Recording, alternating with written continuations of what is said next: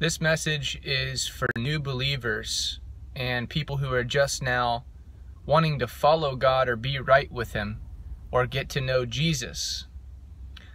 A big mistake that a lot of people make when they first want to come to God and get to know Jesus is they start to look for a home church.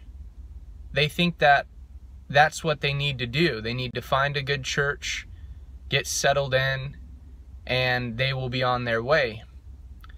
But that is a very big deception.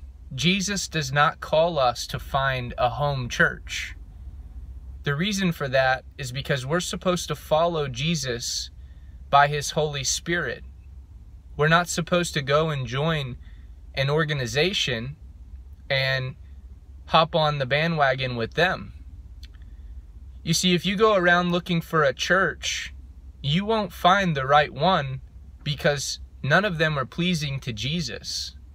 They're all focused on building up their own organization, their own kingdom, and they have their own plan already laid out. They have their own programs for you to attend. But Jesus has a completely separate mission for you. He has his own work already laid out for you and He will guide you every step of the way by the Holy Spirit. Don't go to church and be deceived by the doctrines of devils that they teach. Don't get sucked into church.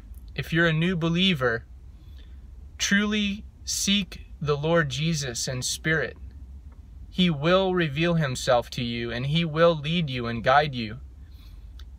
And you don't have to go to a church for a preacher to teach you. Jesus said that he will give you the spirit of truth to teach you all things and he will guide you through everything. So if you're just now coming to the truth or if you just now want to start following God or Jesus, the first step is just to seek Jesus in prayer. May Jesus bless you.